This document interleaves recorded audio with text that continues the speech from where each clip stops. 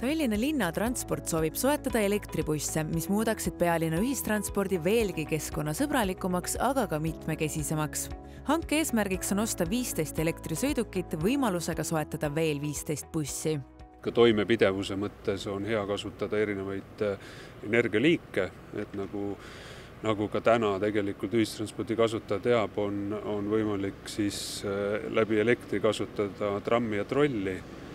on meil gaasibussid, on meil diiselbussid, nüüd siis juurde tulevad ka elektribussid, nii et see annab meile suurema paindlikkuse ja võimekuse, kui mingisugune järjekordne kriis peaks meid jälle tabama. TLT eesmärk on viia kogu pealinna ühistransport hiljemalt aastaks kaks tuhat kolmkümmend viis üle heitmevabadele ühistranspordilahendustele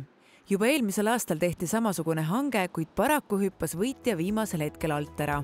Elektribusside tugev külg on see, et nad on heitme- ja müravabad ning ka ülalpidamiskulud on väiksemad. elektribussi eelis on ikkagi see, et, et ta on kaasaegne, väga paljud linnad ju täna on läinud äh, elektribussidele üle, aga praegu on arutelud, käivad tõesti meil tegelikult ka trolli tuleviku üles,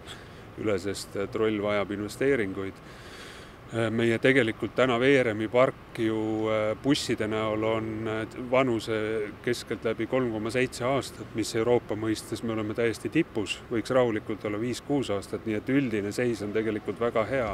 Linnaliikluses on Tallinnas testitud viie erineva tootja poolt pakutavaid elektribusse ning elanikud võtsid need sõidukid väga hästi vastu. kui kõik läheb plaanipäraselt, peaksid esimesed elektribussid Tallinna tänavatele jõudma juba kahe tuhande kahekümne neljanda aasta suveks